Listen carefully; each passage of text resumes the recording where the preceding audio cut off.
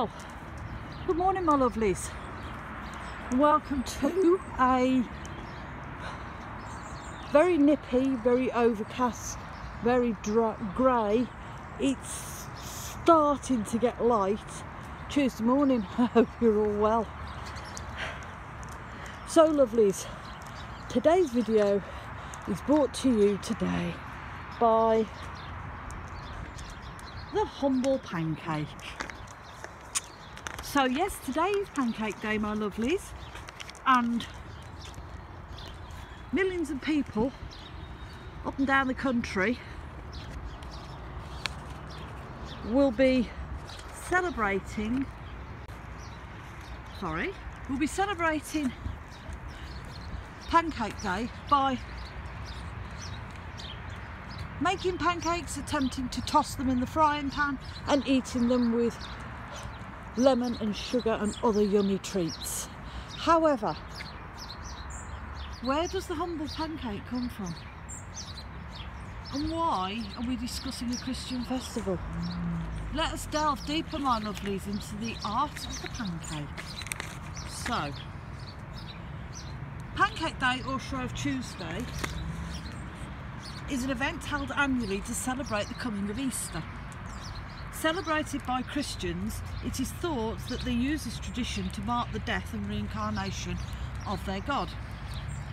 Shrove derived from the word shrive, referring to the confession of our sins as a preparation for Ash Wednesday and Lent, a 40 day period of fasting and abstinence. But where do pancakes come from? And why do we celebrate them? And why, I hear you ask, Seals, are you discussing a Christian event? Let us delve deeper. So way before Christianity was even thought of and became a thing, our pagan ancestors celebrated an early form of Pancake Day. Celebrating the early signs of spring in Imbolc, it is thought our pagan ancestors held celebrations. Symbolism is important to our pagan ancestors and it is thought that they made these round hot pancakes to symbolise the coming of the sun and warmer days ahead. And those who ate them were to be energised by the sun as the pancakes represented the shape and the warmth of the sun. Then along came Christianity. And just like everything else, they used, they took this pagan tradition as their own to make the crossover from paganism to Christianity easier. So while you're tucking into your pancakes, today, just remember we have our pagan ancestors to thank for them. So yes, lovelies, Pancake Day, bear with a minute, is not a Christian tradition that marks the coming of spring or the death and the rise of their gods. Or god, um, but a pagan tradition to mark the early onset of spring because I don't know about you. While I've been out and about you know walking up and down the lanes I've noticed signs of spring. I mean like I said the other day the daffodils are up the snowdrops are up the crocus are up. I've also noticed the blackthorns trying to flower as well. We've also had Imbolc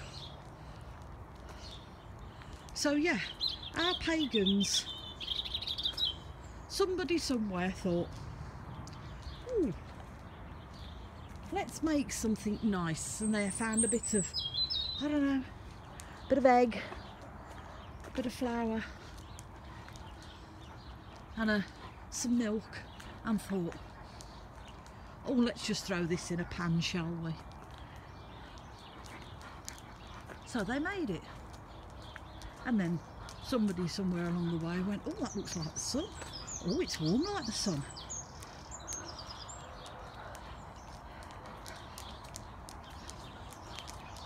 And I suppose it came to be that they decided that these flat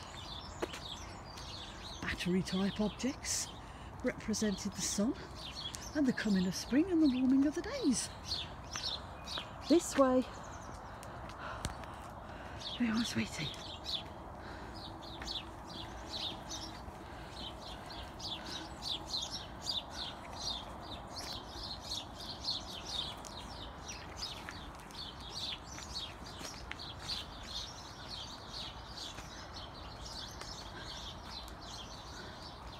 and it's it's been something that's been passed down from generation to generation.